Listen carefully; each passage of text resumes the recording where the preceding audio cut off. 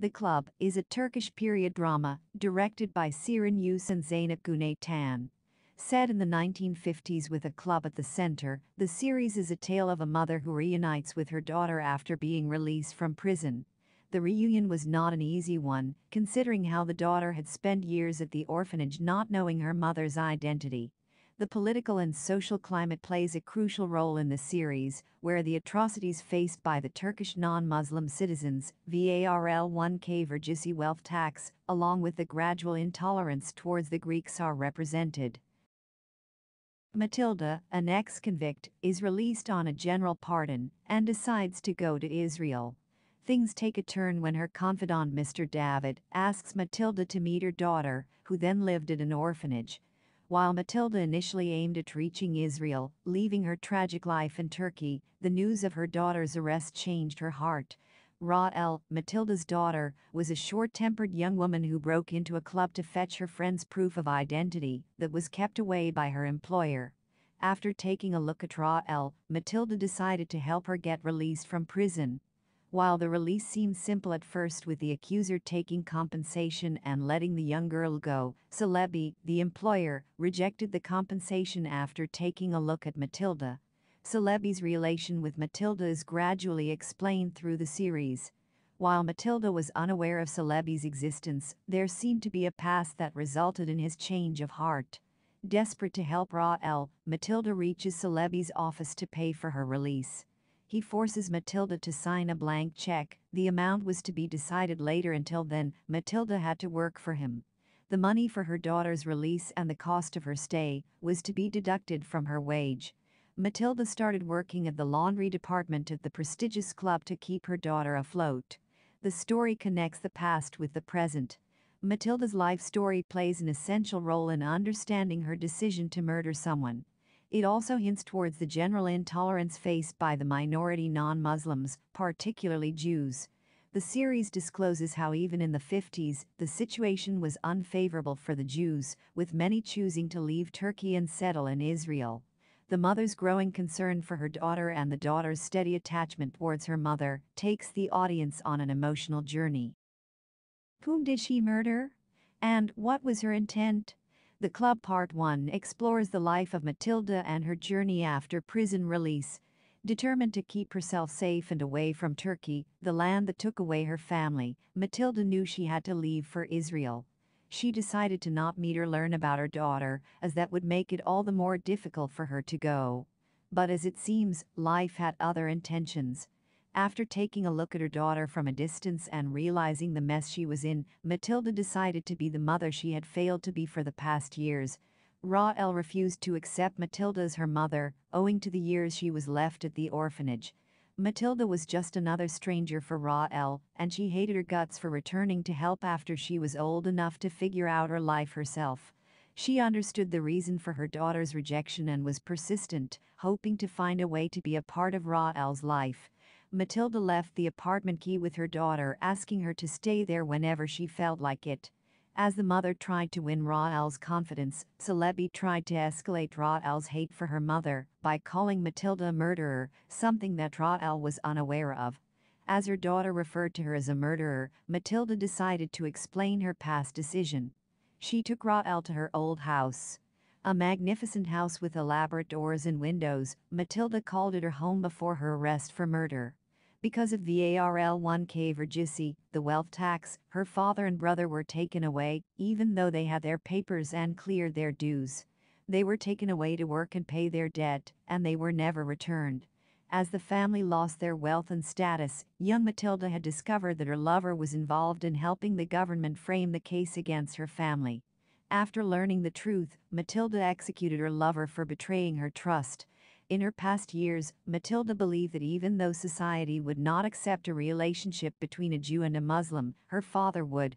Her father loved and trusted her lover, Mumtaz, but after realizing how her family was played, she took it upon herself to punish him. It was not an easy choice for Matilda, knowing that she was pregnant with the child of a man who ruined her family. She killed not only to avenge her family, but also herself. While Matilda narrated the whole incident to her daughter, she left out a piece of important information. She did not reveal the man's identity whom she harmed, and she simply said that the man broke her family's trust. This information will remain a critical element in the club part 1. The relationship between Matilda and Raşel can be damaged if the identity is revealed. Who was Selim Songür? The Club Istanbul and Selim, while the crux of the tale is a story of an absent mother and her daughter, the Club Part 1 expands the narrative, with the characters working at the nightclub. Selim Songür was the lead performer at the club. He was a visionary whose concepts were not accepted by most clubs. Determined to make his dreams come true, Selim entered the Club Istanbul and exchanged his ideas with Orhan Şahin, the owner of the place. Orhan was a dreamer like Selim, and he was excited about the concepts shared by Selim. Orhan wanted to break away from the regular stage performances at every other nightclub and wanted to create something unique to attract the crowd. Selim did just that. He offered a mix of the traditional and the modern. Matilda and Selim shared an adorable friendship. He trusted her blindly at the club, Matilda was the one who helped Selim escape when he was anxious to go on stage for his first performance. Later, after gaining confidence and sharing his fear with Orhan, Selim decided to perform again. Matilda came to Selim's rescue a final time when the news of his father's demise shattered his spirit. It was she who motivated Selim and helped him perform for the radio. The radio performance was particularly significant as Selim's parents had always told him that, if he was a true artist, he would be performing for the radio. Even though he achieved enough success to prove his worth, yet his parents were not there to witness his greatness as an artist. Who was Celebi?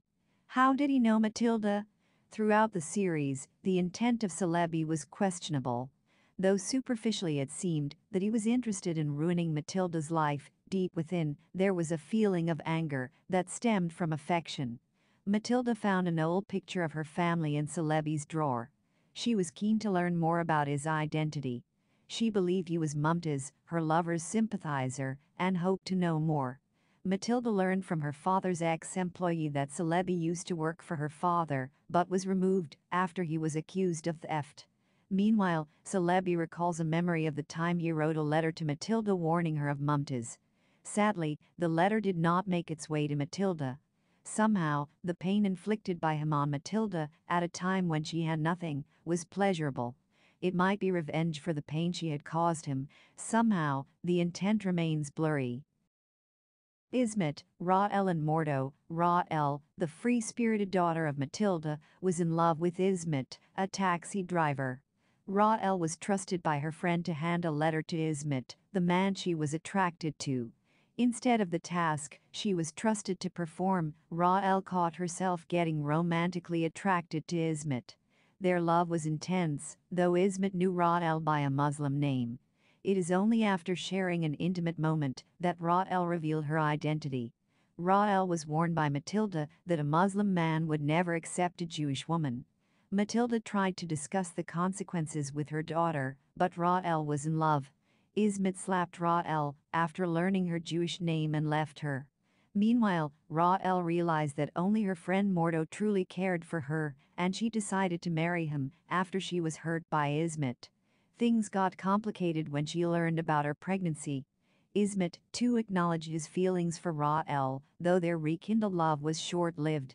Raşel knew that Ismet would never be the right choice, and left for Israel with Mordo.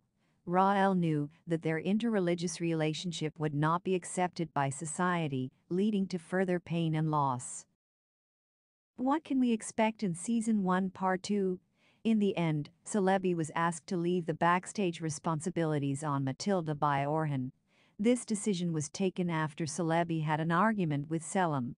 In the process, he decided to damage Selim's confidence by informing him about his father's death right before his performance.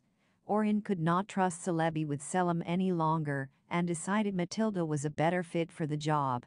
Celebi left with anger and was determined to reveal the truth about Raşel's father to her. Even though he knocked on the door, he decided to remain silent. He later reached the terrace of the building, where he secretly kept the pigeon cage that was marked M plus M, Mumtaz plus Matilda. He opened the door of the cage and let the birds fly. This, in a way, indicates his forgiveness for Matilda. In the final scene, Raşel leaves for Israel with Mordo. He was aware of her pregnancy and decided to support her, nonetheless. The club part 1 ends with Raşel leaving, but her sad eyes staring afar. Will Raşel truly leave her love to lead a peaceful life? That remains a question. Orhan's hidden Greek identity can lead to a traumatizing outcome.